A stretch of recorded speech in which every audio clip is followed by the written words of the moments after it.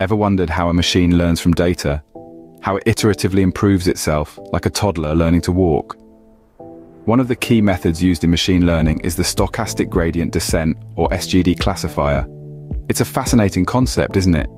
It's like a tiny invisible teacher, constantly guiding the machine down the path of learning.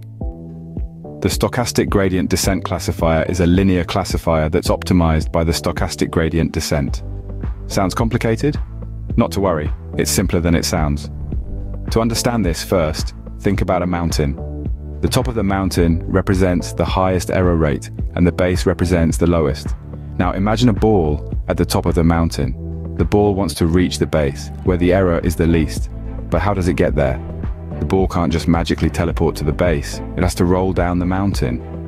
This is where the gradient descent steps in. It's like a compass, pointing the ball in the direction it should roll to minimize the error. The gradient is simply the slope of the mountain at the ball's current position. By following the steepest descent, or the gradient, the ball will eventually reach the base. Now, what's so stochastic about this gradient descent? In the real world, the mountain isn't a smooth, perfect slope, it's rugged with bumps and dips. If the ball blindly follows the steepest descent, it might get stuck in a dip, thinking it has reached the base.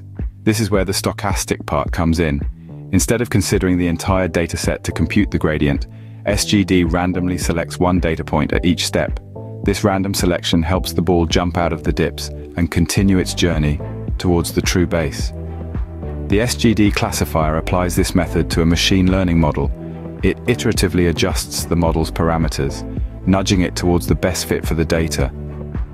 Each nudge is guided by the SGD, leading the model down the path of least error. In essence, Stochastic gradient descent is an optimization method that helps a machine learning model learn from data. It's like a tiny invisible teacher, constantly guiding the machine down the path of learning. The SGD classifier applies this method to a linear model, iteratively adjusting the parameters to minimize the error.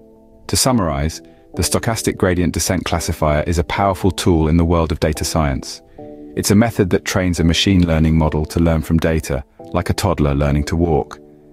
It uses the gradient descent to guide the model towards the best fit for the data, and the stochastic part helps the model avoid getting stuck in dips.